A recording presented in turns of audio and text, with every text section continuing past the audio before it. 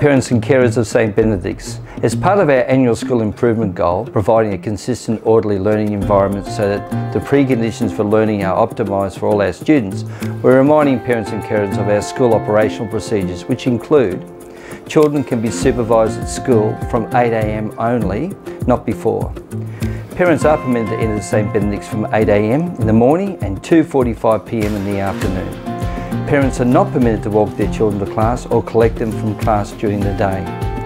Parents are asked also to come to the school office and sign their child or children in if they arrive after 8.30am. If parents are wishing to collect their children early from school, they should ring the school prior to arriving so their child can be collected from the school office.